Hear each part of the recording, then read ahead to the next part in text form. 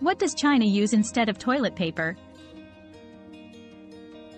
China uses water instead of toilet paper for personal hygiene. A bidet or spray hose is commonly found in Chinese households and public restrooms. The use of water is considered more hygienic and environmentally friendly than toilet paper. Additionally, some Chinese people still use traditional methods such as squat toilets which require the use of water to clean oneself.